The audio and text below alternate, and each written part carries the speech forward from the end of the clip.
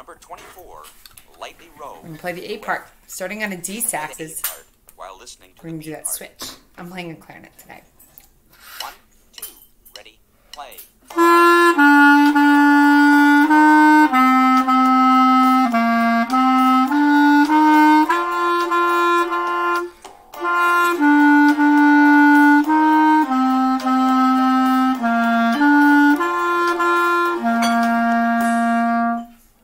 Now the B part. This time, you play the B part while listening to the A Ready part. on a B saxes, E clarinets. One, two, ready, play.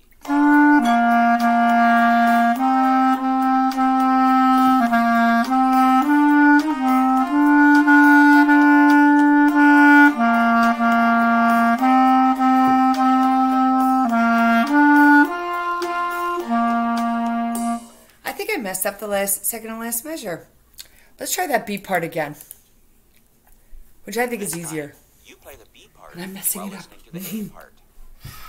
Here we go. Two, ready, play.